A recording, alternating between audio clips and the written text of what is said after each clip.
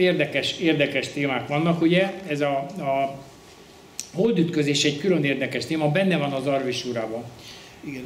Benne van. Ebből, ez... Melyik oldalon, azt most nem tudom neked megmondani, de, de megvan nekem digitálisan is, és akkor már meg tudom benne keresni, mert rákeresek, hogy hold, és az több helyen is szerepel, a hold dal való összeütközés, dátumszerűen is megvan benne. Tessék, Parancs. Azt szeretném megkérdezni, Gyuri atya, hogy az Arvis sorában pont ugye beszámolnak űrbéli háborúkról. űrháborúkról is. Illetve Igen. Űrháború. De a védák is beszámol űrháborúkról. Illetve hát a, a védák is. És hát több jele van a Földön, hogy itt komoly háborúk folytak.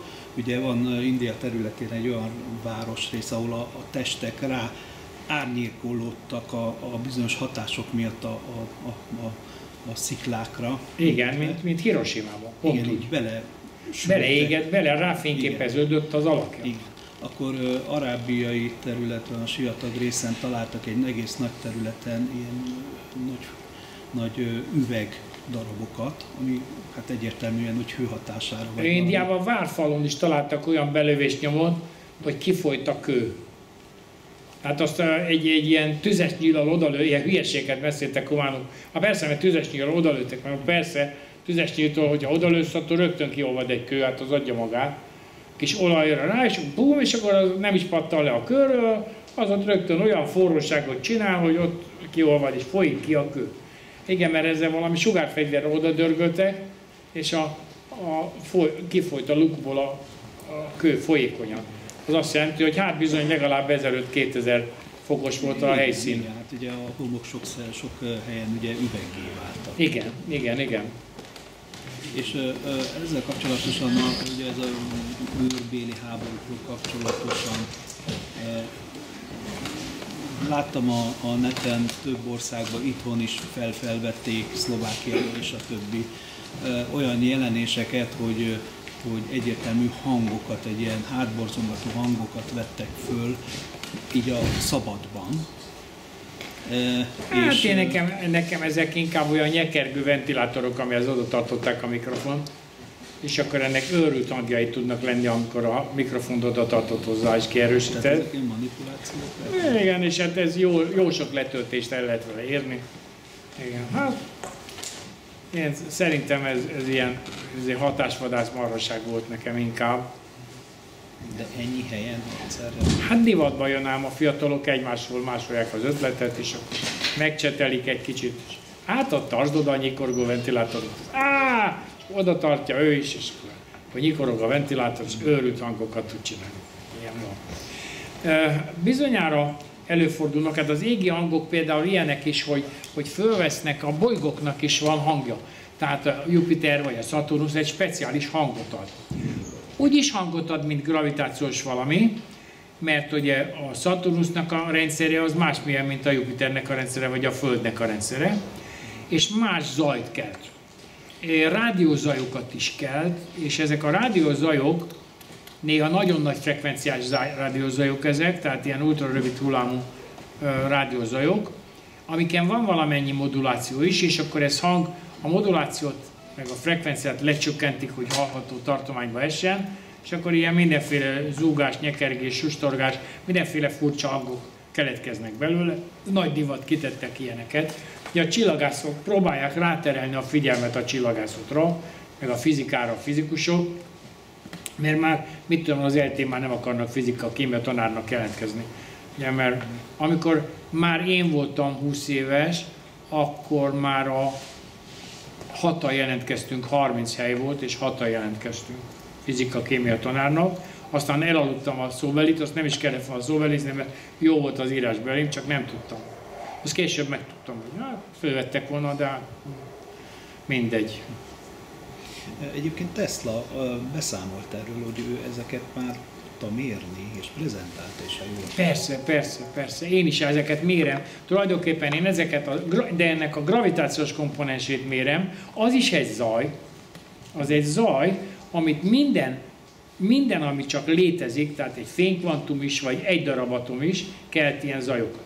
Na most ezeket a zajokat, amikor nagy tömegbe keltik, az olyan, mint a, a csacsogó tömeg, vagy a, a folyosón a lárma az iskolába, mert hogy nagyon sokféle atom, nagyon sokféle zajt kelt, és ezekből lesz egy ilyen, hát fehér zajnak hívják mondjuk az elektronikába, de ez is nagyon eltérő tud lenni, ez a fehér zaj, és én ezt veszem, ezt a zajt, de most egyelőre a, a mostani műszerek, azok, műszereim azok még csak a, a zajnak az amplitudóját nézik, tehát a zaj erősségét nézik, és e, irányérzékeny a, a mérőfej, a, most a, amelyik a nagyon jó volt az a mérőfejem, az most már a halódás halódásában van, 2005-ben e, készült az a mérőfej, és már kicsit szét van járatva, mert 6 megán járattam a mérőfejet, és a 6 meg a, a szétvitte, ugye az érintkezőket, meg a izéket szétvitte már, és már kontakthibás nagyon a szerencsétlen. Néha, mér, néha izé működik, néha nem, mert már szétette a fene. Hát ez elfáradt szegényke. Azt csináltam újakat, de nem lettek olyan jók. Most azon nagyon dolgozunk, hogy legyen egy jó, és többfélét is csinálok. Most már ugye azóta tanultam belőle, ezekkel a mérésekkel is nagyon sokat tanultam, és ugye mi már képi alakítjuk a gravitációs hullámokat, nem pedig, hogy 20, 10 vagy, vagy 20 millisekundumig mértünk gravitációs hullámokat, nem, mi képi alakítjuk. Egyébként a, a LIGO-nak a, a fel, feldolgozatlan a információát is lehetne képi alakítani. Olyan érzékeny a, ez a gravitációs távcső, hogy a, a mexikai öbölben a hullámzást érzékelik hogy a csapkodnak a partra ki a hullámok, azt is érzékelik, mert francban vannak tőle, nem fordva, francban vannak onnan még, és Tehát el, vagy elmegy a vonat, vagy a busz, vagy a mindent érzékelnek. Na most én ö, nem olyan igényes módon álltam hozzá, mert nekem annyi pénzem nem volt, hogy igényeskedjek, hanem azt néztem, hogy van-e változás, vagy nincs. És csak a változást néztem és ezzel is eredményt lehetett elérni, sokkal gyorsabban, mint ahogy ők el fogják ezt érni. Most ugyan már mértek egy 20 millisekundumos gravitációs hullámjelet, ami a, a vicc kategóriába tartozik persze, amit, amit mindenféle hülyességgel próbáltak már ilyen ügynökök megfertőzni, hogy, hogy nehogy csaljanak meg. Miért tudom én milyen hülyeség volt, mert viszik a sok dollármilliót, de eredmény az nem nagyon sok jött és akkor most volt, és ezért most már Nobel-díj, meg ez, és akkor most már van pénz, meg jaj, de jó.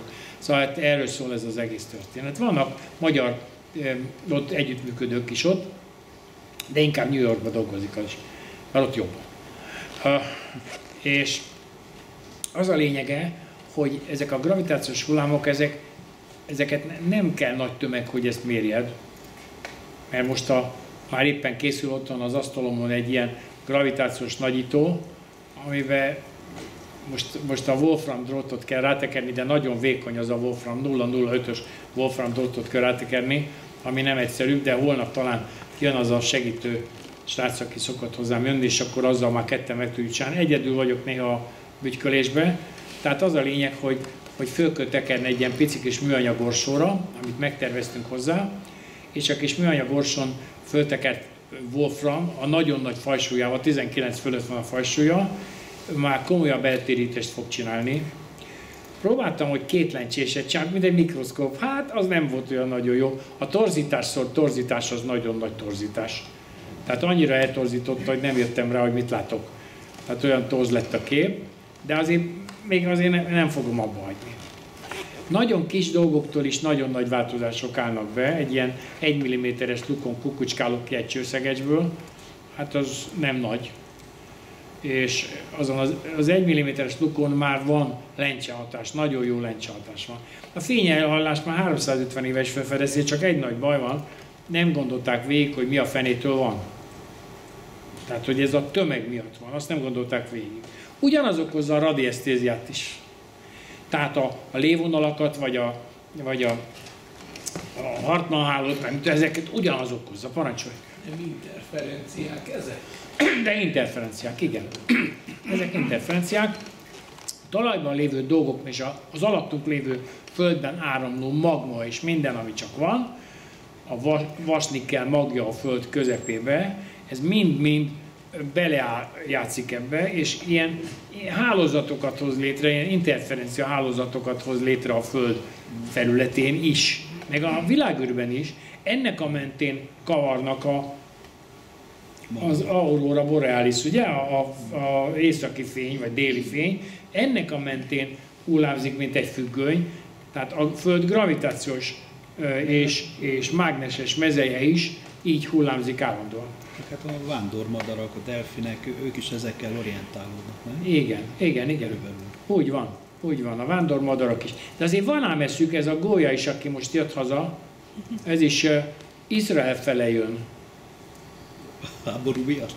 Uh, van, amikor a háború miatt, van, amikor meg, igen, mert, igen, mert hogy a szárazföld fölött jön ez a lényege a szárazföld fölött jön. A Málta fele jövő vándormadaraknak nincs nagy szerencséjük, mert lelövöldözik őket. Máltán ilyen sport volt a madárlövészet, és még mindig sport, népi sport, hogy lelövik a madarakat. Tessék, parancsolj! Nagyon népszerű ez az interferencia elmélet, amit itt a kollega említett, meg te is mondtad, de számos kísérletet lehet beállítani, amely kategórikusan cáfolja ezt. És mi, mivel cáfolja? Hát térjünk vissza a kedvenc drótomhoz, szóval ott mi interferál. De nézzünk meg az egy, atomok. Nézzünk meg a drót atomokból áll, és minden egyes atom hullámforrás. Az interferál. Minden egyes atom egy végtelenbe tartó hullámforrás is. Ezeknek az interferenciái azok, amit mi az összegzett jeleket mérjük. Mi nem a igazi jeleket mérjük, hanem az összegzett jeleket. Nem egy darab atomot mérünk, hanem azt a sok millió atomot, vagy milliárd atomot, amiből ez a drót áll és azt mérjük. Tudok rajzolni a levegőbe egy anyagmentes jelet. Mert tudsz teremteni. Tudok teremteni. Mert tudsz teremteni. De mi interferál?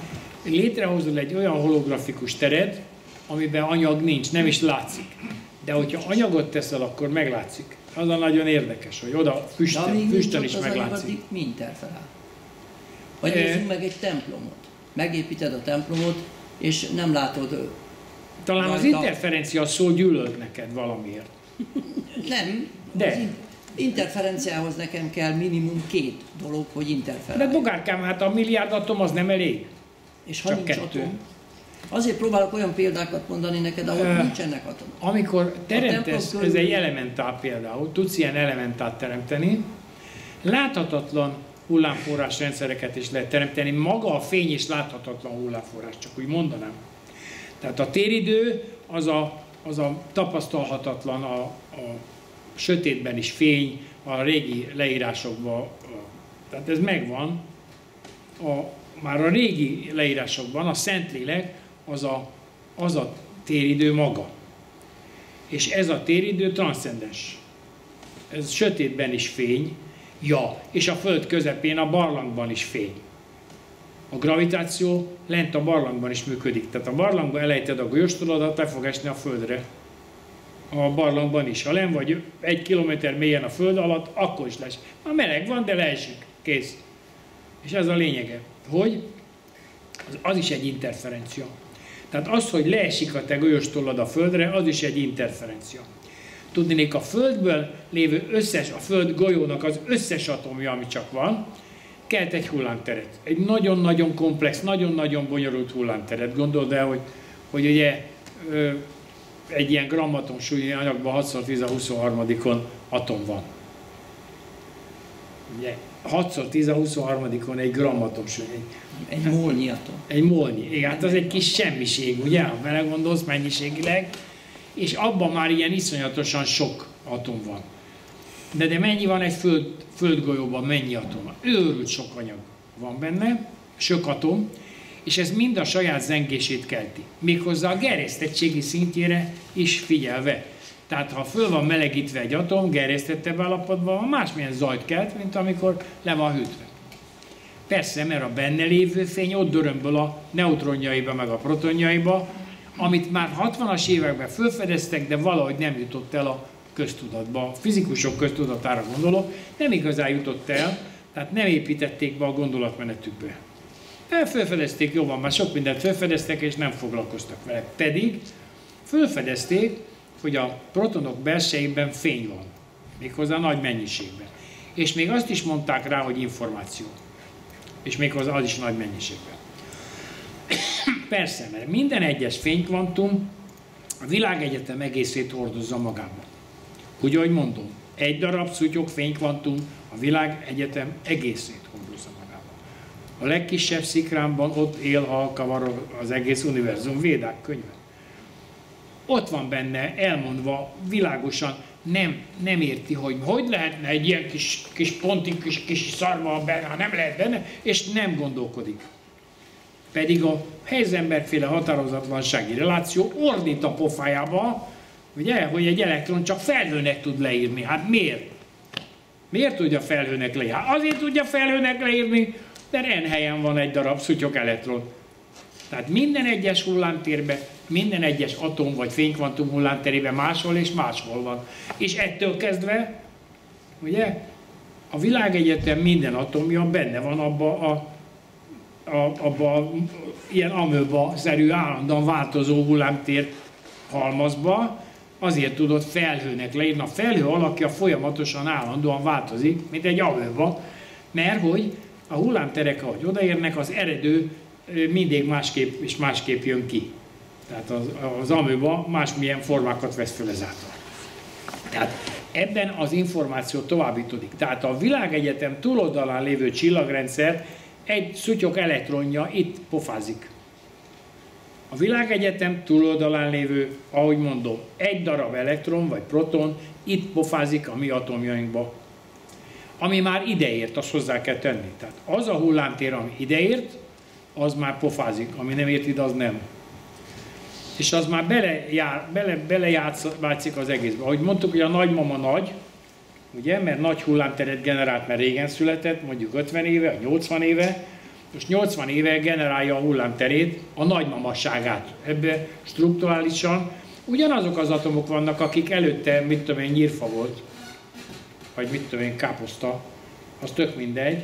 Most már a nagymama lett belőle, és a, a nagymamasságát ő sugározza szét, attól kezdve nevezhetjük ezt nagymamának ezt a hullámteret, amikor ő megszületett, vagy megfogant. De azelőtt semmiképpen sem. Addig csak kélyes tervnek nevezhetjük. Tessék, de ez visszafelé is igaz akkor. Tehát amit, amit, amit mi gerjesztünk, az ugyanúgy ö, tágul, illetve halad ki. Hát ez miért van visszafele? Hát ami, amit mi gerjesztünk, az is ugye... Az is tágul, hát hogy nem? Persze, persze, abszolút. Felé megy. Persze, abszolút így van. Tehát egy csepp tengerben benne van az óceán. Egy csepp tengerben benne van az óceán, sőt az egész világegyetem. És ez egy információs halmaz is. Ezt hívták éternek. Tehát ez nem az az éter, amit össze-vissza magyarázták, ezerféle módon magyarázták. Ez nem az.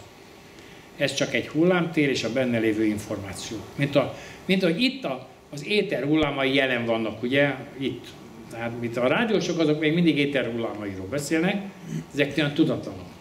És még mindig az éter hullámairól beszélnek, persze az is, mert ez a vákumban is megy, tehát azért gondolj végig, szóval ilyet kérdez tőlem valaki, hogy a vákumból de már vettél el, miért a, a műholdas tévén mi a francot csinál?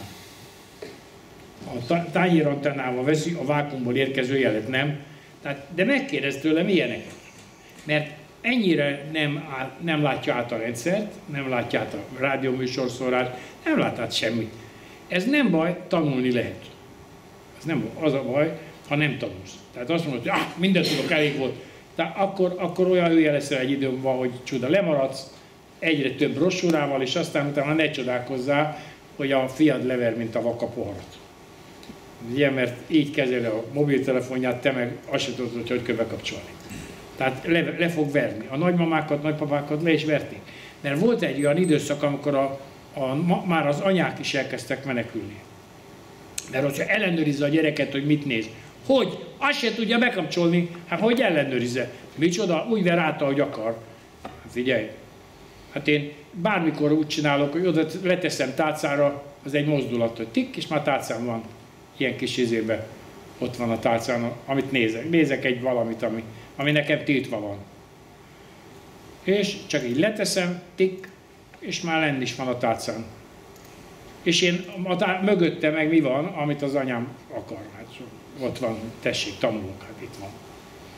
Most közben abban a pillanatban kitette a lábát az ajtón, tik visszateszem, mert megint ott van a képernyőn, és nézem. Hát, de, hát ez így működik. Fiatalok már bolcot csinálnak az öreg szülőkből, mert mit tudom én olyan, ott is fönt olyan nagyon jó pofa, ezért, hogy morikálják maguk a, csajok a, a srácoknak ilyen félmeztelenül, meg mit tudom, mórikák magukat, tehát el kell adni az árut. Minden áron. El kell adni az árut. Ha nem adod el az árut, akkor rajta fog romlani, és kész. És ha ne, igen, hát ha nem vész időbe félre, ez elfogynak a rendes legények, maradnak az egyre kriplibe, ugye? És akkor persze a legjobb legényeket kéne lekaszálni, meg a fiúknak is a legszebb lányokat, ugye? Mert szépen elfogynak. Az a végén a falu legrondább lányát veszed el, és te fogsz jól járni, az a nagyon érdekes. Mert a török, török mondás azt mondja, hogy ha a barátaidnak akarsz dicsekedni, akkor vedd el a legszebb lány a faluból, hogyha jó feleséget akarsz, akkor vedd el a legcsúnyábbat. Mert az aztán mindent meg fog csinálni, hogy a csúnyasságát kompenzálja. A szép lány, az csak királylány lesz, az te fogsz mosogatni, meg főzni, ő meg csak a körmét lakkozgatja egész nap. Tehát ez így működik. Higgyétek el, hogy így működik. Nem egy ilyet láttam én már a gyakorlatban. És, és nagyon, nagyon szépen látszott az, hogy a nő nagyon jó csaj volt, nagyon jó nő volt, csak hát az aztán otthon semmit nem csinált. Tehát nem vagyok érabszolga. Érted? Csináljanak nekem mindent meg. Tehát ilyen királylány, és ha valaki nem, akkor karahó húzzák a fejedet. Kész. Nem viccelnek. Ki fogja találni, hogy hogy húzza a karóba a fejedet. Mert ugye, ahogy a mesében. Na, tessék, parancsolj. Térjünk vissza az interpretációra. Ott az ábrája. Nagyon könnyen kezelhető. Igen. Tehát látszik, hogy minimum két forrás, amit ott erre egy R2-vel jelöltél. Igen. Két fix forrás Egy kell. forrás van, két lyuk, Egy forrás van, de abból a, lánccsal kettőt gömbi csináltál. hullámot kertő forrás, mert ez nem síkám, hanem gömbi. Víztetején is ugyanígy néznek ki a Az hullámok. erre egy egyébként. R2-vel jelölt két rés, az két Igen. forrásként működik Úgy van. az ábra tovább. Teljesen önálló forrásként működik. Igen. És akkor abból kapsz egy szép interferencia képet. Úgy van. Most Erősítés, kezd el mozgatni a két darab résedet, az Igen. egy R2-vel jelzett rést, és akkor a képernyődön nem fogsz kapni egy ilyen ábrát, hanem a helyette látsz egy fehér zajt. Tehát stabil interferencia képet csak fixen telepített forrással lehet előállítani. Különben csak fehér zajt lehet előállítani. A fejezet, a so, persze, mert szétkened, Mert a, szétkened, szétkened a- te a húzigálással, a álló rés hullámot húzigálás. nem lehet csak álló forrással előállítani. Na most, ha nekem Nem. van Nem egy, mert, a, nem, mert az az érdekes, hogy ilyen álló hullámok ö, nagyon bonyolult rendszerekben is kialakulnak, gondolja a kristályokra. Hát gondolja arra, hogy a kristályokban az atomok viszonylag egy stabil helyen vannak a rendszerben, tehát abban neked talán igazad van, hogy álló forrás, de nem álló, mert az is össze-vissza így táncol, tehát az állótól az igen messze van. Hát igen közel van, ha úgy fogod fel, hogy megnézed, hogy a kristályban hol mozog az egyik atom, Igen. és ahhoz képest hol mozog a legközelebbi másik atom. A távolság olyan nagy, hogy a atom mérete és a két atom közötti távolság viszonylatában a távolsághoz képest az atom mérete elhanyagolható. De már egy elektron is olyan, Tehát olyan hogy egy proton körül egy hidrogénatomba kering az elektron, hogyha fölnagyítanánk az egészet, a hidrogént olyan nagyra azt az atomot, mint a, mondjuk a népstadion, akkor a közepre egy ötös foci lenne a, a proton, és az elektron már egy mákszemnél is kisebb kis facak lenne, és kívül keringene már a népstadion. Tehát olyan híg valami egy, egy hidrogén atom. Igen. Tehát a, De a többi atom is a híg. kettő távolsághoz képest Igen. az ő mérete, Igen. és ahol ő ott mozog, az elhanyagolható. Tehát, mint forrás, fix. Mondjuk rá, igen. Ugyanide jutottunk vissza. Akkor hogyan áll ebből elő mondjuk egy olyan fix rendszer, mint a Hartmann háló? Ahogy beteszek mozog, még, egy, beteszek még egy atomot a rendszerbe. Beteszek még egy atomot, már nem egy, egy két forrás van rajta, hanem több. Ahogy többet, egyre többet és többet rakok bele, egyre bonyolultabb és komplexebb valami, ez még a fehér zajt nem éri el.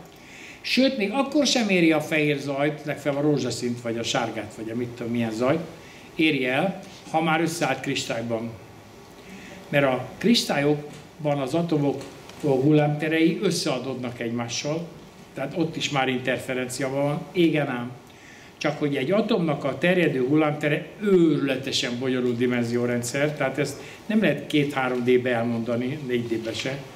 Nem lehet elmondani, mert egy darab hidrogénatom 740 ezer dimenziós.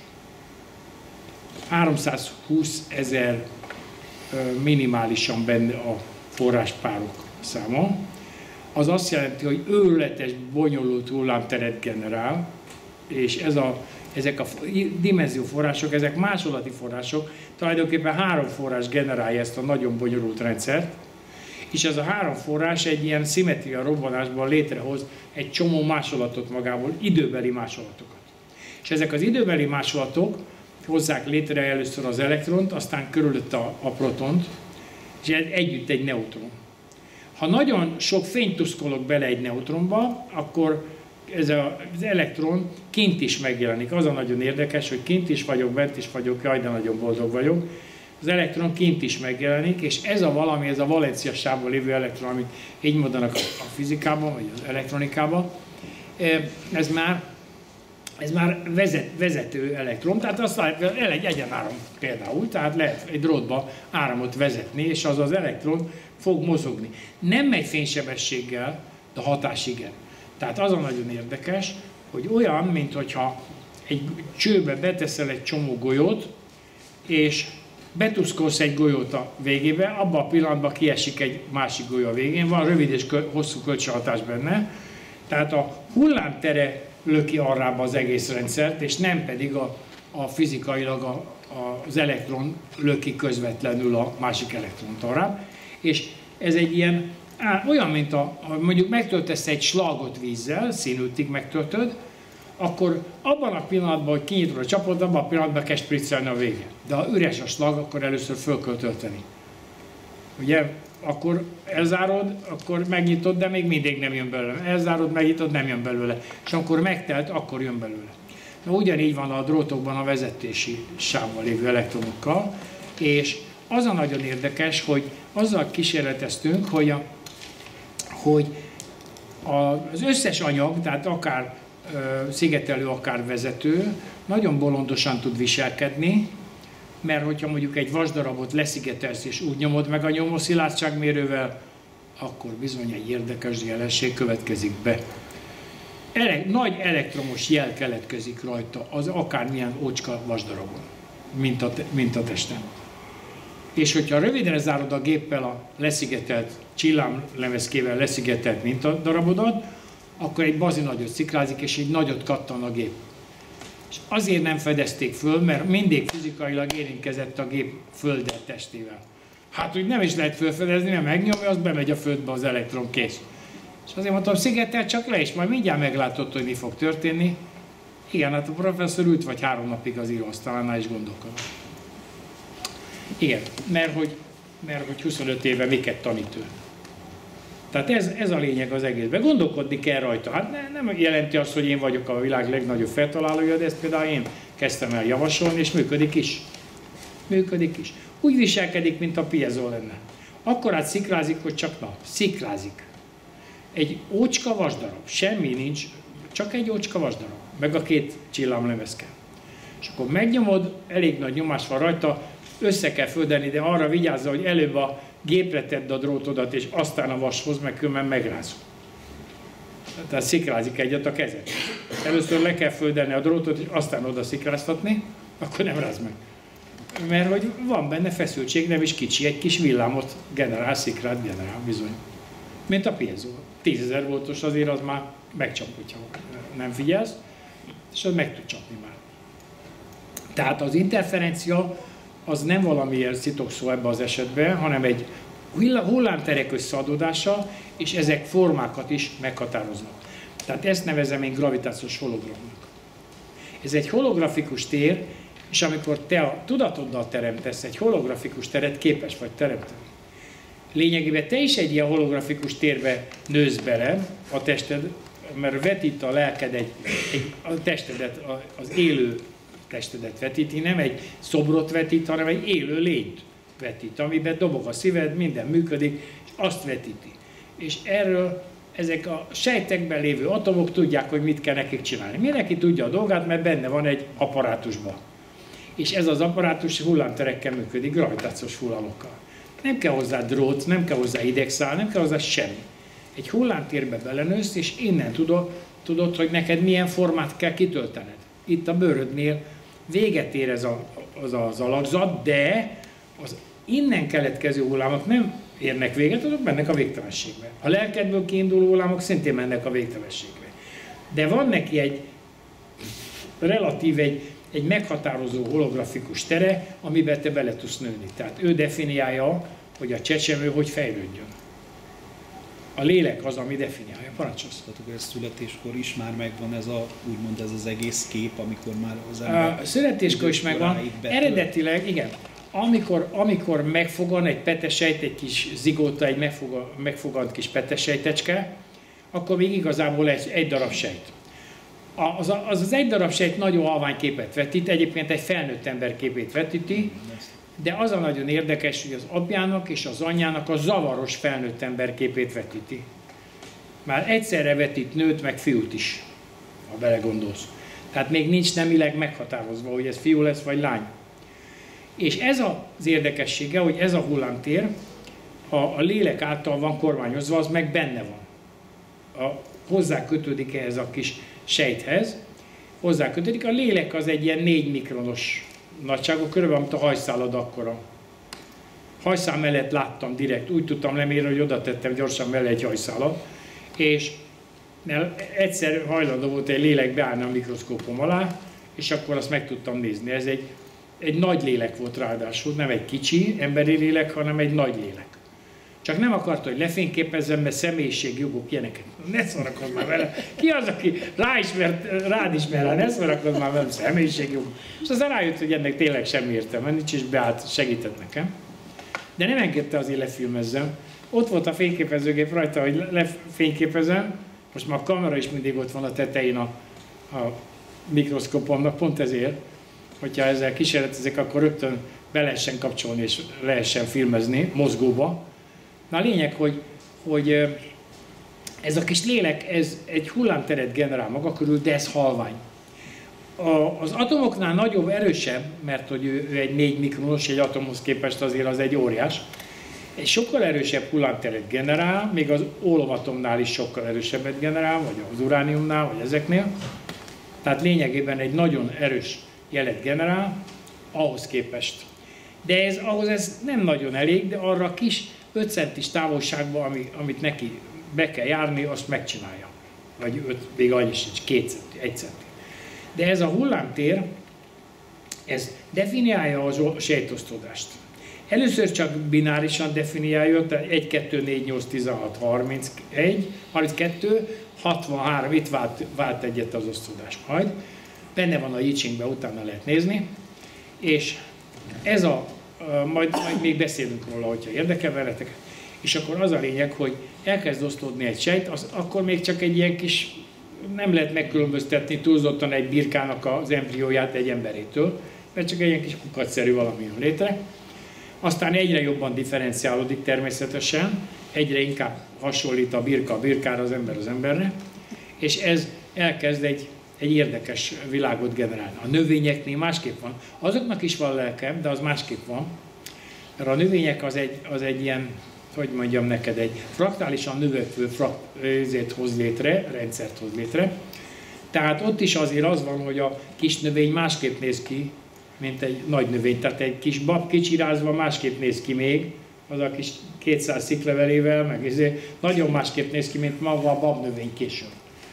Mert ugyanezt történik az embernél is, hogy, hogy egy hullámteret kell neki kitölteni, és a sejtek onnan tudják, hogy mi, mivé differenciálódjanak. Nem rögtön májsejt lesz, meg nem rögtön csontsejt lesz, de már abba az irányba tendál a sejtnek a morfológiája is, meg az egész állaga is, és akkor szép lassan egyszer csak kezd belőle kialakulni a csont, az, minden, az erek, és már dobog a szíve, most még nincs is érrendszere, de már dobog a szíve. Persze, mert a lélek egy mozgó, négydimenziós képet vetít, négydimenzióról beszélni se lehet, mert az is hülye, aki ilyet mond, de, de akkor is így van.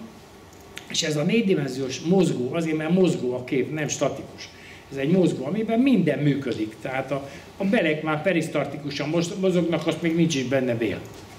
Csak olyan kezdeményszerű valami van, de már az perisztartikusan megy benne az áramlás, hogy a szart jobbja ki maga elő, vagy magából, mert úgy működik, hogy egy ilyen hernyószerű mozgást csinál a veled, és az nyomja előre az anyagot. Tehát benned van egy kicsit a földi giliszta is, az ötlete, az a hernyózós mozgásnak. Tehát akkor, amikor az Isten ö, megtervezte az embert, akkor először ilyen kezdetlegesebb lényeket talált ki, aztán egyre jobbakat és jobbakat. Ugye, mert ő is egy evolúció szerint gondolkodott. Az, az, a Darwin nem azt mondja, hogy, hogy nem az Isten teremtette a, az embereket, azt csak a materialisták próbálták a Darwin szájába adni, hanem azt mondta, hogy az evolúció során ezt a sorozatot követhette. Tehát előbb tervezte meg a majmot, ja, jó lesz ez a hardware, mert már az újja ki volt találva, igen, ezzel már jó lehet fogni, ügyes, jó van, akkor ez jó, és akkor utána elkezdett variálni vele, és, és a majom sem buta, ha azt gondolod, oh, nem buta, az úgy kilopja a táskádból a cuccot, pontosan tudja, hogy hova dugtad a jó kaját, meg a jó cukrot, amit ő szeret, meg az úgy, járkálj csak olyan helyet, ahol ilyen turistákkal majmokot rohagálnak. Ja, hát nézd meg, hogy kilopja, vagy a fagylatot kikapja a kezedből, mert ez, kikapja, azt elszalad vele, mert elnyalja a fagylatot, mert ő szereti a fagylatot. És akkor ilyen bamba turisták mennek, nagyon nézegetnek, majom meg oda sofordál, kikapja a kezéből a fagylatot, azt el is tűnik vele. És röhög, röhög rajta, hogy látod, milyen hülye vagy. És Tessék ebből arra lehet következtetni, hogy akkor emiatt van az embernek az agyában a hüllő agyrész.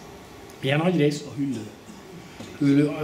Bennünk van az, a tervnek sokféle hát variáció része. Hát hüllő agyrésznek nevezték. Természetesen rokonságban van, hát a kezdeti lényeken keresztül mindenképpen rokonságban van igen. az ember az összes élőlényel a, a világegyetemben. az evolúció, ezen pont a magzat. Úgy van, úgy van. Látszik. És akkor ugye akkor a lélek akkor, akkor beleéli magát ebbe a hologramba? Beleéli magát a hologramba, belenő, egyre pontosabban nő bele, és a végén kész egy lény. A, a, a madarak azok érdekesebb, az, azok igazából a hüllőkkel vannak rokonságban, a tojástojó hüllőkkel. De vannak olyan szürkék például, akik tojástojnak. Zöldekben is láttam ilyet, tojástolnak. Tojástolnak, és úgy szaporodnak, tojástolnak, és akkor a, azt kiköltik, és utána, amikor kiköltötték, akkor, akkor lesz belőle egy, egy emberszerű lény, az az érdekes. És a, valami ilyesmit tervez most a nagyfőnök, valami merényletet tervezünk ellenünk. Így néznek ki mondjuk az ember, a disznó meg a csirke. Függőlegesen ez a baloldali az ember, a középső a disznó, és a jobb oldali pedig a csirke embrió. A csirke embriók azok másképp működnek, mert ott van egy bazi nagy petesajt, pe, petesejt, de ilyen nagy petesejt, ugye, és a, egy tyúk tojás, és az egy darab sejt. És, és az az egy darab sejt, annak olyan sejthártyája van, ami, ami a tojáshéj. Tehát amellett, hogy van egy rendes sejthártyája is, az, a belül az a hártya a tojásban, de van neki még egy külső védőburka, mert azok a, a madarak éltek többen túl, akiknek mennél erősebb bőr volt a, a tojásán, aztán már, a, már mész, mészfázat is fejlesztettek rá. Pontosan az angyalok fejlesztik ezt, csak mindig javítják rajta, és akkor leteszik a fejlesztett változatot. Parancsolj, te még nem voltál. Igen, igen, a rajzról le van, hogy az első állapot, ugye az osztódás, utána az igóta, ott először a gerinc és a fogak fejlődnek ki, de nem, nem ilyen kis a, a domináns elemek kezdenek benne kifejlődni, ami a vázrendszer, a domináns elemek, ami nagyon fontos, az kezd először kifejlődni. A, váz, a csont az nagyon fontos a rendszernek. Tehát, hogy legyen mire rá nőni a, a többi dolognak. És azért a csontrendszer kezd el fejlődni rendesen. Ezeken nem látszik, mert nem látsz bele a belsejébe. Ez egy ilyen kívülről így néz ki egy embrió valóban, de, de belülről is izgalmas ez. Tojással csináltak ilyen nagyon jó kísérletet, hogy belerakták egy ilyen keltetőbe egy kamerával együtt, és akkor ö, föltörték nagyon óvatosan a tojást, belerakták egy pohárba egy ilyen, egy ilyen fóliát, belenyomták a tojást a közepébe, és akkor a keltetőbe így föltörve rakták bele, és kikelt abból is a csirke. Na ettől kezdve érdekes ez, ugye? Mert már állítólag ugye föltört a tojást, abból már semmi nem lett. És lett belőle, képzeld el csirke, csak nagyon óvatosan kellett bele engedni ebbe a, a nylon zacskóba, nem lehetett úgy belevágni, hogy, mert ahogy te szoktad föltörni a tojást, plács, tehát nem, így nem lehetett, de óvatosan belengedték, és képzeld el, kikelt a csirke belőle. És akkor le tudták filmezni, mert nem volt el tojásé, le tudták filmezni, hogy hogy alakul ki. Egész fantasztikus. Azt hiszem a japánok csinálták. Egész fantasztikus, ilyen tudományos felvétel volt. De nagyon jó. És itt lehet megtanulni, hogy a természet hogy működik, mert azokat, ha nem tudjuk, akkor nem tudunk semmit. Tessék, Pancsa. Ö, ö, e- Esetlegesen beszélhetünk arról, hogy, Bármiről. hogy, hogy a maga a, a egy, Sok anya, egy anya terhesség alatt tulajdonképpen, hogyha megnézzük a belsejét, akkor az is egy ilyen tojásszerű állapot? Mert hát szülés után meg kicsit kell áll a szüljék, méhely, mint kicsit a még tojás. a mélepényt is meg kell szüljék utána. Ö, igen, igen. Mert hogyha megnézzük, az is tulajdonképpen egy tojásszerű, vízszerű állapot. Igen, ugye? hát egy, egy Ami- híg, de az a víz, az nem az a víz, a magzatvíz az nem olyan, mint a tojásfehérje, mert ott tápanyag az a tojásfehérje, ami majd át fog alakulni csirkévé, tehát a szik elkezd osztódni, de közben, közben a tojás fehérjéből nyer dolgokat. Itt valaki már harcolt velem, hogy de ki kell venni, levegőztetni a tojást egyszer egy nap, és akkor kicsit le kell üteni, azt megint fölmelegíteni, hogy lélegezzen a tojás a porosain. Hát igen, vannak rajta porosok, de nézd meg, hogy mennyi, egy kis csirke mennyi oxigént, levegőt fogyaszt el mondjuk egy perc alatt, csak egyszer próbáld lemérni, és akkor rá fogsz jönni, hogy hát nem stimmel. Na itt van, amit, a, amit mondtam az előbb, így csinálták meg. Tehát ebben a pesgős pohárba kikeltették a csirkét. És, és kikelt nekik a csirke. É, itt ezek az egyetemisták többet csináltak az élet megismerésében, mint az összes professzorok az a Földön. Hogy mondanám neked, hogy az, de az összes professzor, biológia professzor. Tehát, mert az egyetemisták még mernek tévedni. A biológia professzor már nem mer tévedni. Mert az összes kollégái rögtön a, a nagy a torkára teszik. Nem mer tévedni. Mert kigolyozzák örökre, a munkát se fog kapni, úgy kigolyozzák. Az irítség, a, a butaság, a gonoszság, stb. működik. És ezek az egyetemisták még mernek pofára hát ők csak tanuló diákok, hát lehet pofára. És hát egyetemisták voltunk, fiatalok voltunk, azt képzeltük, de hát aztán megtanultuk a professzorútól, hogy nem lehet. Szóval így, így később ezt mondhatja, nem sikerült. De, de kikeltették, és ki belőle a csirke, és egészen fantasztikus, mert már dobog a szíve neki, akkor, amikor még nincs is érrendszere. Nézd meg, így ver a szíve már. A tojásba. Az embernél, ugyanúgy a nőnél is. A nőnél is ugyanígy A ver a gyerek. a szív Szíve már, már két hetes embrióban úgy ver a szív, mint a húzat. Azt mondják, hogy az nem fáj neki, meg nem él, meg minden, persze. De hogy nem. Tudod, azok, akik ezt kitalálták, pontosan ugyanazok, akik a, a nőnek a várandós állapotát teresnek nevezték. Tehát. Ugye? Mert a latin gravid, ugye, de az nem egészen ugyanazt jelenti, az nem egészen ugyanazt jelenti, mint amit ért, érzünk alatta, ugye? Mert a, a, ha terhes, akkor neki teher, van, teher az az egész dolog. De hogyha várandós, akkor nem. Akkor egészen mást jelent a szívében is. Áldott állapotban van az még. Áldott állapotban az még annál is sokkal, sokkal, de sokkal szebb dolog. Igen, és itt kell a nőnapon megbecsülni a nőket. Itt kell a nőnapon. Ezt kell nekik megértetni a, a kis fejecskéjükbe, hogy bizony, bizony, ez az áldott állapot is. Ve- Verje el az orvost, mint a vakapoharat, hogyha terhest mond. És hogyha minden nő leveri az orvosokat, aki terhest mond magyarul, mert ezt csak magyarul mondják, ha terhest mond magyarul, akkor verje el, mint a vakapoharat. Lehet, hogy magának teres doktor úr, nekem nem. Szóljon rá keményen. És attól kezdve az orvosok visszahúzzák maguk alá a farkukat bizony. Nem fognak terhesezni, meg terhes gondozozni, meg mit tudom én.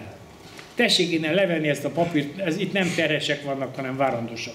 Tessék ezt a papírt innen levenni, és így tovább. És tessék nekem elhinni, hogy ez működni fog.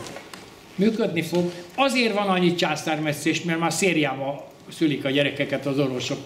Tudod, régen a nők meg tudták szülni a gyerekeket, most meg nem. Ne vicceljetek már.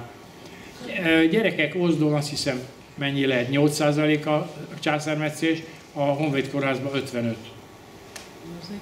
Nem tudom, hogy figyelsz-e. Minden második nem tudja megszülni, több mint minden második nem tudja megszülni a gyerekét. Ez egyszerűen és világosan hazugság. Kész pont. Hazugság. Az orvosok szériával vagdosság, 8 óra 20 perc, egyik gyerek 8 óra 40 perc, másik gyerek szériával vagdosság. Na most amelyik nőnek fölvágták egyszer a hasát, azzal már baj van ám. Csak úgy mondanám neked, hogy akit egyszerű fölvagdosta, annak a méhe már gyengébb lesz, már nem biztos, hogy fizikailag meg tudná szülni a gyereket rendesen, ugye, mert szétszakad az erőködéstől a méhe, és akkor baj van, nagy baj van. Akkor már tényleg szükség van a kórházra. És tessék majd azt is észrevenni, hogy a szülőszoba az nagyon más, mint a kórházba szülés. Nagyon-nagyon más.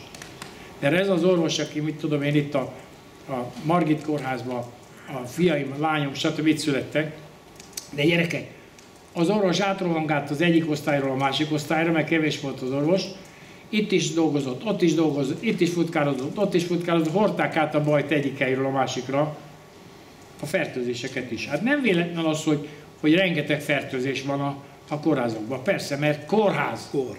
Kórház. A nevében is benne van. A kórháza. Ugye? A szülő otthonban ott nem volt ennyi probléma. Meg az otthon szülésben sem. Őrült harcot kezdtek a... Ó, Szegény Ágnest úgy benyomták a víz alá, hogy csak lehetett, pedig szakember volt, és mégis benyomták a víz alá, mert volt valami egy, egy valami probléma, vagy kettő. Aztán közben miért azt hiszed, itt nincs probléma? Rengeteg. A rengeteg probléma van. Halva születés, még több, rengeteg probléma van.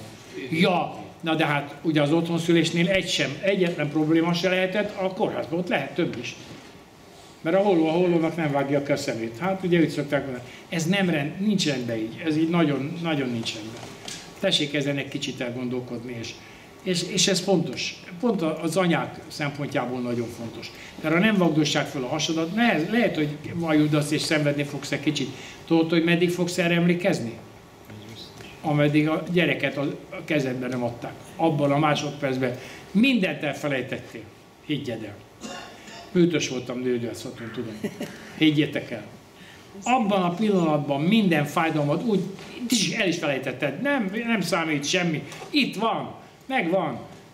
És a, a fiad, a lányod, és látod, és megvan, és cicizik, és meg tudom én.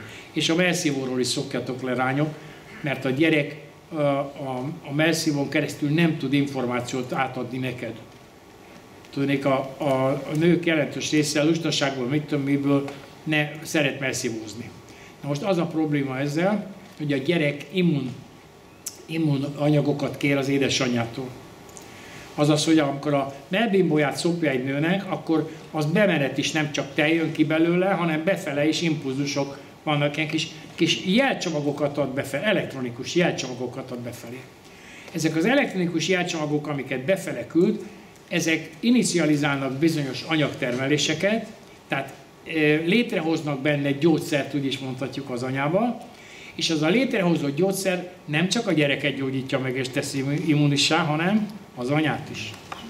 És ez nagyon fontos, hogy az anyát is. Tehát egészségessé teszi. Tessék észrevenni, hogy a fél éves korig a gyerekek, különösen amíg szopnak, addig szinte nem is betegek.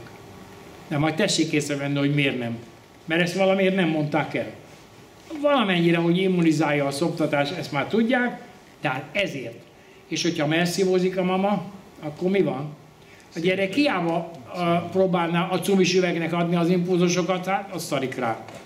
A cumis üveg nem fog, nem fog neked olyan gyógyszert előállítani, ugye? És ez a nagy probléma. Tehát, hogy mert itt a nők mindenféle hülyességgel traktálják magukat, igazából a nők csak magukkal vannak elfoglalva szinte, tehát, hogy szép legyen, ilyen legyen, formás cicia legyen, formás popsia legyen, mert ameddig el nem adja az árut, addig különösen. Akkor eladta, akkor aztán eszik, amennyit akar. De... akkor már hedonista élvezetek dőlhetnek befelé, tehát lehet zabálni. Az, az sokan nem mondott olyat, hogy elvettem, most már izélheti. Most már 130 kilós volt csak azért. Na, aranyos volt, de egy olyan jó sugázású nő volt, csak hát ugye, hát most már mindegy, most már nem kell vele foglalkozni a férjemmel, mert csak addig, ameddig meg, meg nem teljesítette a kötelességét, utána már neked semmi között hozzá. Tessék.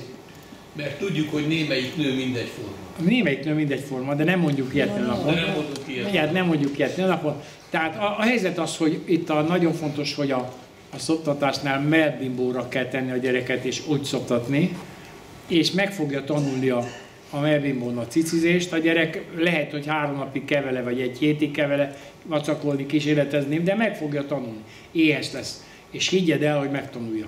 Megtanulja. A cumis üveg az nem, nem egy jó ötlet. Ugye itt ilyen kényelmű hülyeségek vannak, meg mit tudom, micsoda, de felejtsétek ezt el. Felejtsétek el. Azt akarod, hogy egészséges legyen a gyereket, addig szoptasd, ameddig tejedül. Tehát akár, akár két-három éves koráig is. És akkor az a gyerek ilyen egészséges. Tehát azt nem, ezért benyalja a portakoszta, ezért attól semmi, semmi baj nem lesz. A másikat meg megfújja egy kis szellő, az már ilyen torokgyulladás, olyan fülgyulladás, stb. A fülbajokra eh, pedig a izét, azt a temetői kaktuszt ajánlom nektek, az nagyon jó.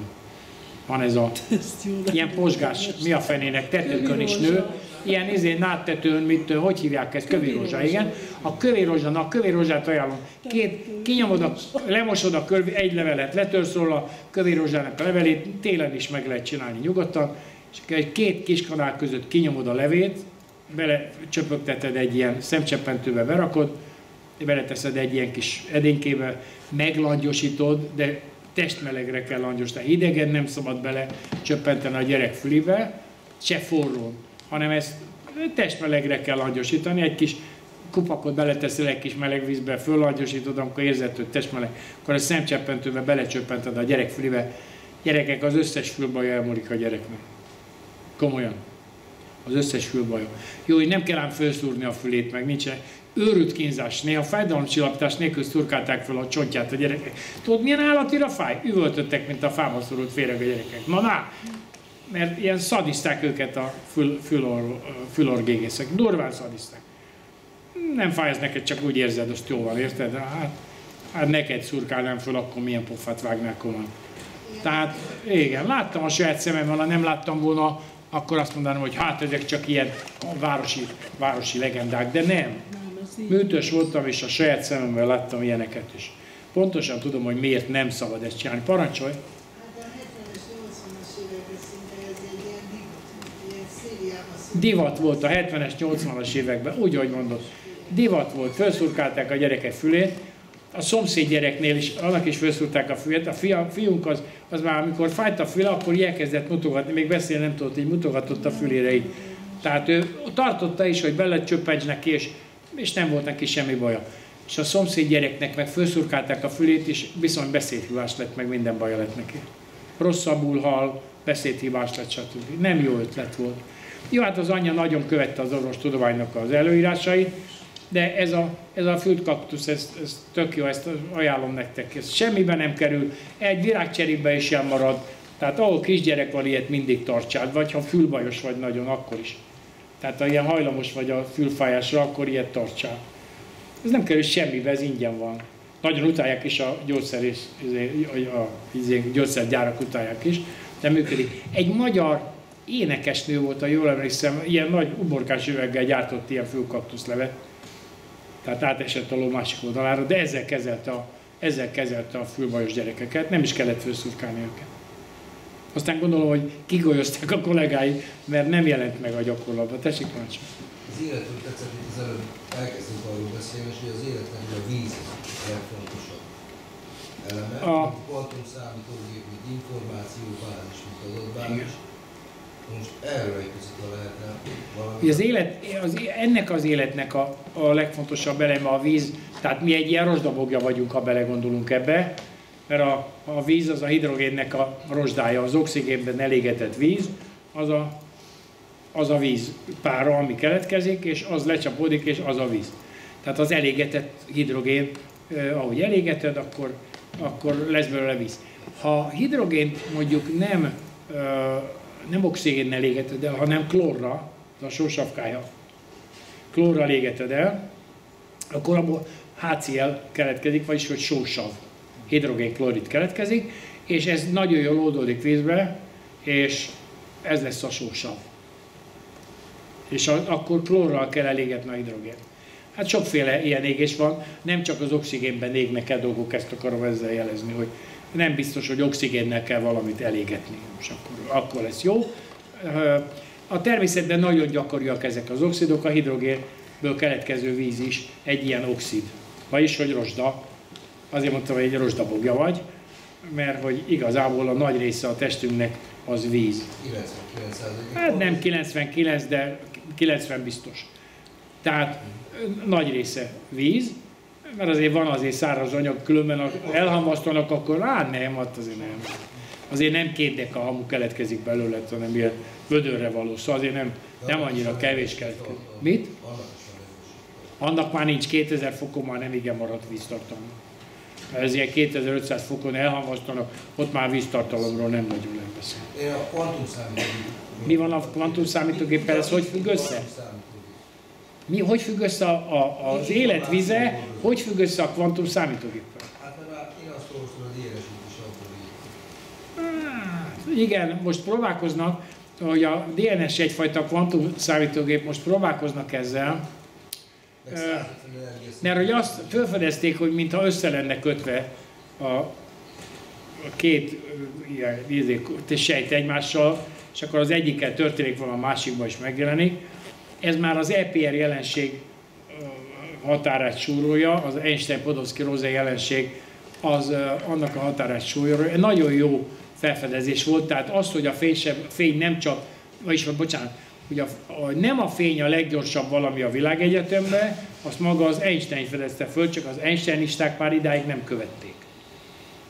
És a 35-ben már valamikor felfedezte, hogy nem a fény a leggyorsabb a világegyetemben, hanem ez a jelenség, ez gyakorlatilag még most is méregetik, és már 100 milliószoros fénysebességet is mértek ezzel kapcsolatban, és nem megy ott semmi. Tehát nem megy ott semmilyen részecske. Nem tudják, hogy mi a fene ez.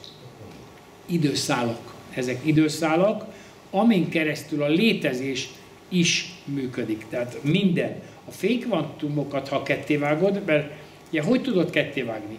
Úgy, hogy a fénykvantum több elemből áll. Én azt mondom, hogy 7 plusz 1 elemből áll egy fénykvantum, a térkvantum meg 5 plusz 1 elemből áll. A a fizikában még ilyen koordinátorrendszerekkel kínlódnak, azok nem is fognak eredményre jutni soha. Mert nem koordinátorrendszerről van szó, de ne- nem autókedeznak. Hát Nem jó ez oda. Tovább kell onnan lépni. És ez a, e, az a lényeg, hogy ezek az időszálak, amivel a száluniverzum tulaj keletkezése kezdődik először, aztán a sík univerzum, ez a 3D, 4D, 5D. 5D-nél magasabb nincs, magasabb az a 6 és a 7D, de azok, az a két teremtő, a két teremtő az, az is egy dimenzió tulajdonképpen, de az teljesen más, mint a, ami belőlünk keletkezik. Mert ezekből keletkezett minden, ebből a két teremtő, az két időforrás. Nem bácsi, nem néni, nem biológia, nem, semmi köze nincs hozzá. Az emberek rögtön oda rángatják le, értem, nő, á, akkor az értem, cicia van, puncia van, á, értem, én. De közben nem, hát közben nem arról szól az egész. Mert ide próbálja lerángatni, hogy ő is megértse, mert csak ezzel jár az esze mindig, és akkor csak ide lerángatja, az kész. De, de, de nem erről van szó, hanem az, ezek időforrások, ami jobbra vagy balra forog, a balra forgó a nő, a jobbra forgó a férfi. És ezt tudták az őseink, képzeld el. Aztán ma még a fizikusaink meg ezt nem tudják. Ez a tovu, a bohu. Tessék utána nézni, a zsidó, zsidó szentírásokban megtalálom. Tessék utána nézni.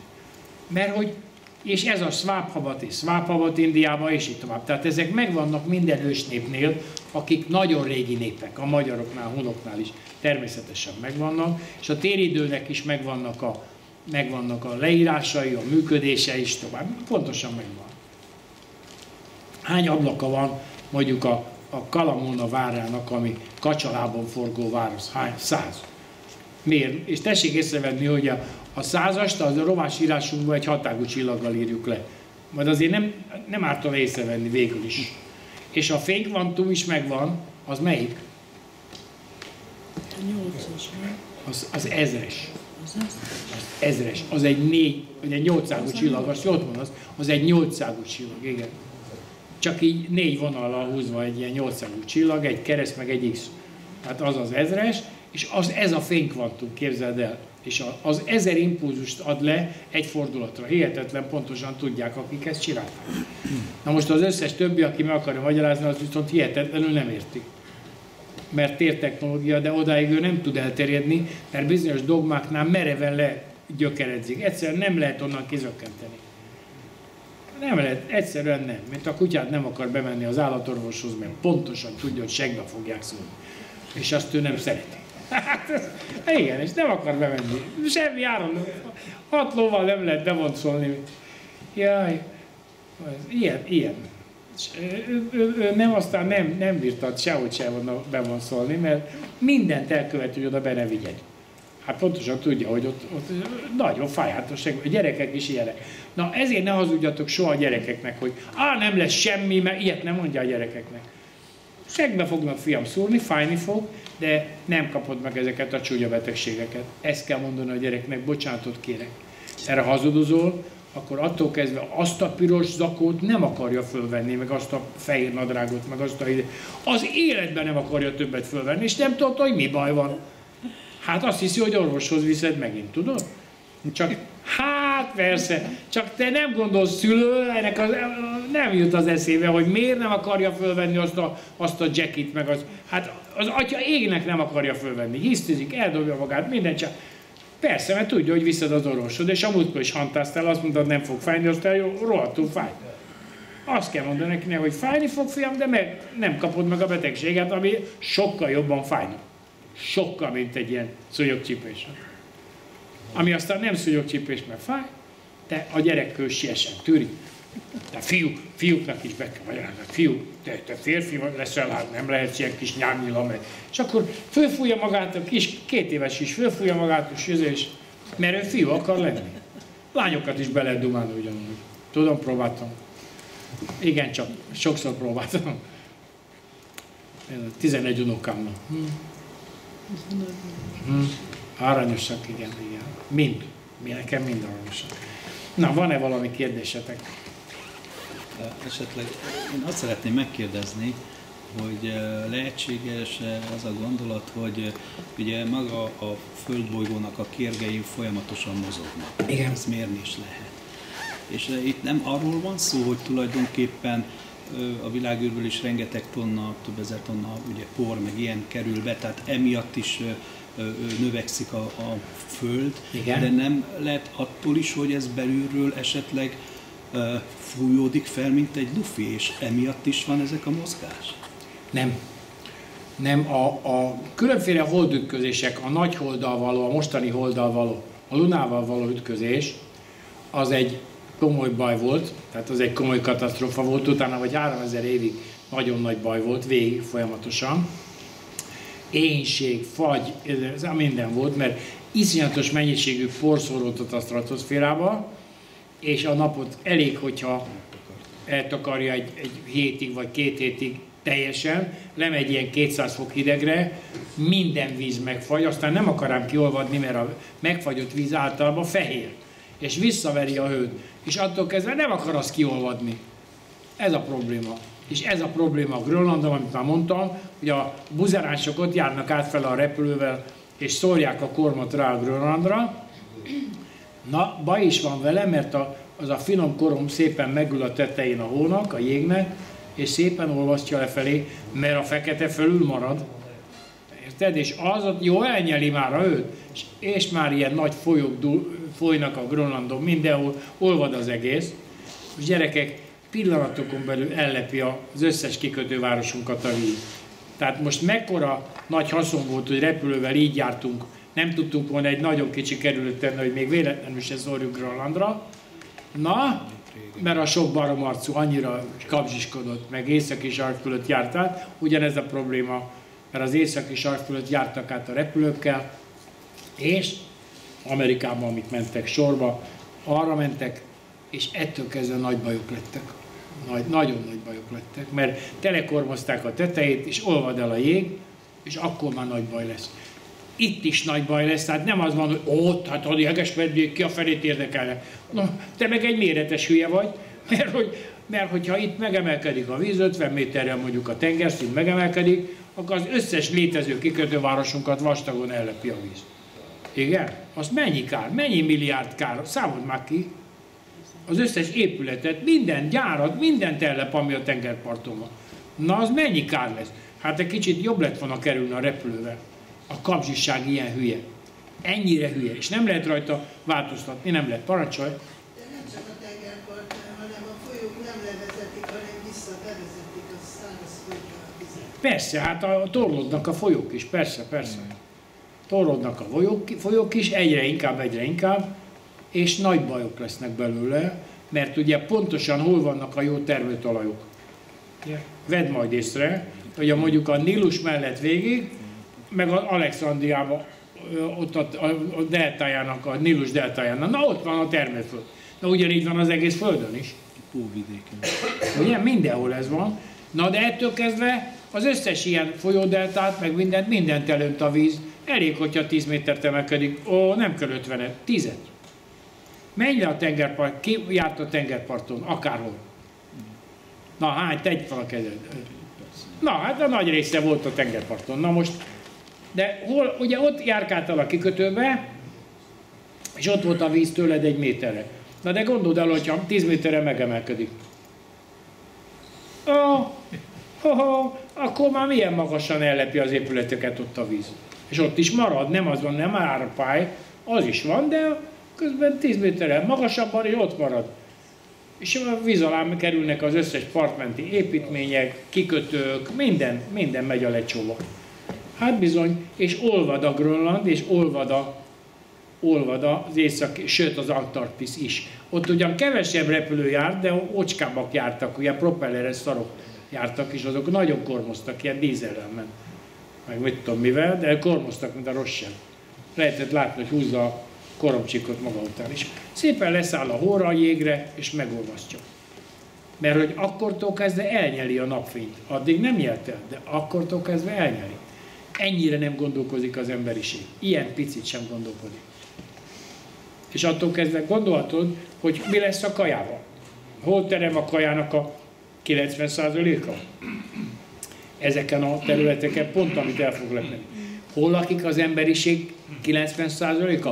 Pont ezeken a területeken. Na, mi fog történni? Zúdul északra fölfelé, vagy a, mondjam északra, zúdul a hegyek felé fölfelé, ahol vannak egyáltalán helyek, hegyek, hegyek, és oda zúdul fölfelé a lakosság, menekül a víz elől nem akar senki megfulladni, és akkor menekül a hegyek közé. Igen ám, de a hegyek között hol, hogy fog termelni? A kínaiak már gyakorolnak. A kínaiak gyakorolnak, mert ilyen hegyek között, völgyek között zakatol a vonat, és, és gyönyörű szép ilyen teraszos földművelés van. Egy pár helyen. Gyönyörű. Erdélyben is. Erdélyben is. Erdélyben is, mert ők már gyakoroltak előtte. Tehát föl voltak szorulva ezekről a területekről a hegyek közé. És ott már csak teraszos műveléssel tudtak igazából rendesen termelni, és meg is csinálták. És a mai napig megvan, a régi teraszok megvannak, amiket már senki nem használ, de még látszanak azok a régi teraszok, és a kínaiaknál őrült nagy teraszos műveléseket, tehát nagy megyényi, nagy területek teraszos művelése, és tessék majd észrevenni, hogy Makcsú Pikcsú körül teraszos, teraszos földek vannak, és a teraszos földek azok, azok kővel fő vannak rakva, meg vannak csinálva, és mit tudom én, Törökországban is kihordják a partról a, a, a kihordják a köveket, nem a partról, hanem a földről, kihordják a köveket oldalra, az a, a még a vízözön odazúdított egy csomó termőfölddel vegyes követ, ilyen kődarabokat, mindent, és azokat kihordják, és akkor csinálnak belőle a, ilyen telekhatárokat, kirakják a követ, ilyen kis falszerű. De csak úgy rakják egymásra, nincs az összemalterozva, hanem csak rakják egymásra, kirakják a földszínre, hogy lehessen rendesen fölszántani, és akkor a köveket mindig kirakják, hogyha találnak azért, hogy ne legyen, ne legyen köves az ő földjük, és gyönyörűen termelnek. A törököknél ott van négy feleséggel, kimegy a török, azok, a török a kordén, az asszonyok bandukolnak utána. Igen, és, és két viszik a kapát, és mennek utána ilyen, ilyen szamárkordéval. Láttuk, láttuk ilyet Törökországban, mentünk Izmirbe, Isztambulból, és akkor láttuk ezt, Nászúton ott voltunk a feleségem. Hát nagyon, Törökország az nagyon veszélyes pálya volt, a, izé, a görögöknél meg béke volt a végtelenség. Ahhoz képest. Törökország az veszélyes pálya volt. Szóval nem volt, nem volt egyszerű. Fekete hó. Fekete a hó. Hát ezt magyarázom. Ez már Grönlandon a fekete hó. És ezt magyarázom nektek, hogy igen, a vulkáni hamu is ö, okoz ilyet, de sokkal kevesebb kárt okoz, mint az emberiség, mert a sokkal kormot, feketébb kormot szórunk a repülőinkből, és ezzel aztán nagy károkat okozunk. Mert minden sugárhajtású gép is fekete kormot szórám maga mögött. Ha fehér csíkot látsz, az csak átverés. parasztvakítás, mert a felhő kicsapódik rá, tehát a, a vízpára kicsapódik ezen a repülőgép kipufogógázon, de aztán a fekete korom szépen hullik lefelé. És, ez, és amit mondtál, hogy a, mondtál, hogy a világörülbelül is érkezik rengeteg anyag, az is szürke többnyire, ilyen, ilyen csillagpor, mert hogy a rengeteg meteorit csapódik be a Föld légkörébe, kisebb-nagyobb, és azok fölizzanak, de közben nem elégnek, hanem, hanem közben hamu formájában szépen szorodnak lefele. Ez nem kevés. A foly, az áradó folyók által, meg a meteorok által, ugye a római kor óta, egy 1500-2000 év alatt egy jó emeletnyi följebb van már a talajszint, mint ahol volt. Mondjuk, ha elmész mondjuk Rómában, nézd meg a Panteont, azt még hunok építették, azért is érdemes megnézni. Olyan nagy, mint a, a nagy bazilika, csak érdemes megnézni. Betonból építették, és azt még nulla előtt építették, tehát, tehát vagy 7-ben, 8-ban, mínusz 8-ban építették. Majd azért tessék észrevenni, hogy az időszámítás lényege, hogy hol van az időszámításnak a jelene. Hm? Van-e időfizika a történelmünkben? Bizony van. Tessék majd észrevenni, hogy a Jézus születése a nulla, amit valamiért kihagytak. Tehát az a nagyon érdekes, hogy a nulláról senki nem beszél. Mindig a, hogy most ez fog bekövetkezni, meg az fog bekövetkezni, de hát hol a nulla? Mert akkor lehet, hogy csak egy év múlva fog bekövetkezni. Ugye meg kihagyták, a, a mínusz egytől plusz egyig ki van hagyva a történelem valahogy. Milyen érdekes. É, és akkor született a Jézus papíron egyébként mínusz 7. Tehát az a másik. És, és nem is karácsony született, szóval apró bajok vannak ezzel. Mondta nekem úgy, hogy én őnek jobban hiszek, mint a történészeknek, hogy ő mikor született. És az benne a lényeg, hogy, hogy a, a nulla az ő maga. És ő, őtőle visszafele számítjuk az időt, és a fiatalok ezt nem is értik sokszor, mert az évszámok nem nőnek, hanem csökkennek. Ugye Jézus előtt, tehát azt már mi, mi időszámításunk előtt a materialisták kitalálták, hogy időszámításunk előtt, meg időszámításunk után. Ez a, a BC, az angol rövidítése, Bekriszti, ugye a Krisztus előtt, vagy Krisztus után, az, a, az az időszámítás, amit most használunk, a nullától 2018-ig, de a visszafelé időszámítás az meg érdekes módon szintén nő az évszám, ahogy mész visszafel az időben még tovább a nullától, nő az időszámítás, és ezt nem értik sokan, hogy hogy van ott ez az idő, hogy miért vannak ott fordítva a számok. Nem ért, sosem mondták el, képzeld Nekem sem mondták el. Nem mondták el. Miért nem? Számegyenes Számegyenes. Hát a számegyenes elmondták, de nem. Annyit, csak annyit mondtak volna, hogy olyan, mint a számegyenes. És akkor rendben van, de nem mondta el. Már csak ez is bolondság benne, hogy a nulla sincs benne. Tehát ezért mondom, hogy hát ilyen, vannak még kívánnivalók, amiket, amiket érdemes egy kicsit még végig gondolni, hogy hát a történelmi írásunk is ilyen labilis talajon áll, mert hogy a nullát kihagyták. De maga a naptár is hamis itt van. A naptár is össze-vissza van, mert próbálják korrigálni a naptárat, ugye. Először hold években számoltunk, a hold az 28 nap alatt durván megkerülje a Földet, hold években számoltunk, valamikor forgott a hold. Tehát akkor, amikor ide került, akkor még forgott olyan, hát olyan 700 éve állították meg a forgását a holdnak, akkor rakták a bázisokat a holdnak a másik oldalára. A nem sötét oldalára, ez egy baromság, mert, mert hogy ugyanúgy, ugyanúgy van napkelte meg napnyugta a másik oldalon is, amikor itt, itt telehold van, akkor sötét a túloldal, igen, mert akkor pont úgy süt a nap, hogy itt a nap, itt a föld, és ott a hold, és akkor szembe kapja a napot. Amikor ezen az oldalon van, 180 fokkal arra, na akkor hold. E, micsoda? Nem volt fogyatkozás, hanem új hold, igen. És akkor szokott a napfogyatkozás is lenni. Ugye, mert akkor a, a, a nap a, és a föld között van a hold, és akkor a nap. Ez a síkföldesek sehogy se tudják megmagyarázni, ugye zavaros marasságokat, ha te tavat összemondanak. Tehát a, a lényeg, hogy, hogy forog a hold a tengely körül, csak az a nagy átverés benne, hogy pontosan annyi alatt fordul meg a tengely körül, mint a, ami alatt megkerüli a szinkronban van a forgása, a tengely forgása a keringésével. Azért egy kicsit eltér, hol? Hát az észak, a sarkoknál. Ha-ha. Is, is, de nem, nem. A, úgy hívják, hogy libráció. Librációnak hívják, a mérlegelődés. Semmi mérleg nincs ott a világon, csak billeg. Nem. Azt csinálja, hogy, hogy így billeg, ahol beírod azt a keresőszót, hogy vibráció, akkor látod ezt a billegés benne, mert hogy a, a holdat, hogyha nézed, akkor az úgy billeg. Mert egy talán 8 fokot vagy mennyit el látunk ide-oda.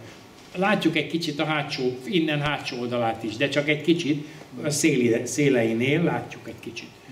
Ö, A túloldalán rengeteg bázis van, Na, ezt aztán átmentünk, megnéztük, csak azért mondom, hogy átvittem egy csomó turistát már innen látogatni. Nem veszélytelen sport, azért nem csinálom mostanában. Na itt van a Libráció, nézd meg, hogy hogy billeg. Igen. így is billeg, így is billeg, meg még azt is látod, hogy az a kráter, vagy az a tenger, az a szürke tenger időnként arrább van, errébb van. Tehát így kicsit ide-oda billeg, mert hogy elliptikus pályán kering, és a Föld is. És ezek, ezek összeadódnak egy nagyon bonyolult mozgássá, ez a, ezt hívják librációnak, amiről, amit most mutatott a Péter, és az a libráció az, amikor ide-oda billeg a hold. Tessék, parancsolj! Én olvastam egyszer, hogy nem tudom, egy vagy több nép is a Földön beszámol. Ö, A legutóbb olvastam, egy afrikaiak ö, beszámolnak, hogy egy hold előtti időszakról, mikor nem volt az égen hold, és mikor megjelent az égen, azóta vérzenek az asszonyaink. Azt mondják. Hát lehet, hogy igen, ah, de az, hogy az lehet, hogy így van, mert hogy pont 28 napos a nőknek a havi ciklusa körülbelül, a, mint a teleoldal vagy valamivel együtt működne. Férfiaknak napi ciklusa van, mert a férfiak naplények, a holdok, a hölgyek pedig hold lények. Hát ők úgy 28 naponként vannak nagyon formában, ameddig a férfiak minden nap. Ugye? Igen. Persze, de hát ez jó, hogy így van. Jó, hogy így van, higgyétek el, hogy jó, hogy így van. Mert hogy ettől kezdve minden nap téged akar, és nem mást. Ha túlzottan eljátszod az elzárkozásos dit, mint amit meg is csinálnak a nők, ne csodálkozzanak, ez elkezd valahova eljárni a férjük. Ne csodálkozzanak. Mert ez nem jó dolog, hogy így van, csak ha három bugyit húz, és mit tudom én, vasbugyit rá a tetejére, mit tudom én, csinálják a lányok néha, de akkor attól kezdve ne csodálkozzon, hogy a fél, mert akkor a legféltékenyebbek a nők, nagyon érdekes. Tehát akkor tökéletesen elzárkozik, akkor lesz nagyon féltékeny. Ő már nem olyan, nem olyan lány vagyok, én olyat még nem csinálok, meg mindig megfájdul utána a derekam. Na, van, van, van-e, vala, van-e valami kérdésetek? Hát édeseim, 10 óra van, úgyhogy itt a véget ért a móka már, a záró Miki mókatára. Úgyhogy, úgyhogy gyertek jövő, ja, ne gyertek jövő csütörtökön, mert jövő csütörtökön március 15-e lesz, és akkor nem lesz. Aki papi iskolába jár, vagy el akar esetleg egyszer jönni körülnézni, 11-én most lesz a, a lelkész iskolánk, ugyanebben az utcában, csak a 81-be, és nem, bocsánat, ez a 81, a 49-ben, igazad van, és itt ki van írva, 4%-os. és az 1%-os felajánlás is ki van téve. Kérlek szépen majd a hunok.hu, és, és akkor ott van az egyház, és akkor a rá, univerzum egyháza rákattintasz, az 1 már csak sajnos nem egyházi 1%-ot már nem kapjuk, meg az állami kiegészítést sem kapjuk, tehát igazából annyira biznisz egyház voltunk, hogy az összes nem biznisz egyház elvitte a pénzünket. Úgyhogy ennyire biznisz egyház voltunk. Na, hát az, a nagy, az Isten azt mondta, hogy vissza fogják állítani az egyházunkat, úgyhogy ha azt mondta, akkor biztos vissza fogják állítani. Nem véletlenül a nevünk Univerzum Egyháza, pontosan azért, mert az univerzum kutatásával vagyunk elfoglalva. És ö, nálunk a Földön kívüliek is házasodhatnak, és keresztelkedhetnek is. Bizony. Benne van az alapítókiratunkban, képzeld el, aláírták. Szerintem el sem olvasták, de nem baj. Aláírták, meg, meg volt a bírósági végzés, minden meg volt, al- aláírták. Hát látod, ilyen a bürokrácia. Köszönöm szépen a Egy figyelmeteket. verset várunk tőled, az Irénke azt mondta. Egy verset tőlem, atya ég. Volt az elején. Nőnapra már volt vers, azzal kezdtem. Igen. Jó, jó, De van, aki nem hallotta. jó. Nagy verset? Szerelmes verset. Miért? A nőknek való szerelmes verset kellene. Hát az a legszebb. A... Jó.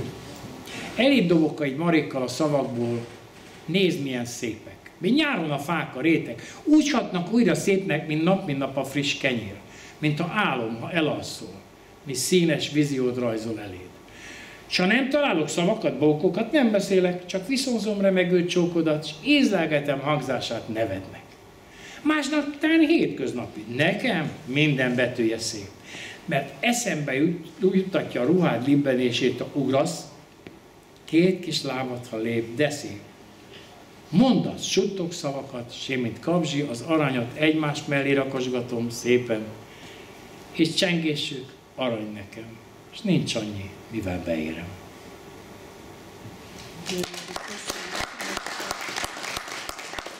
Köszönöm.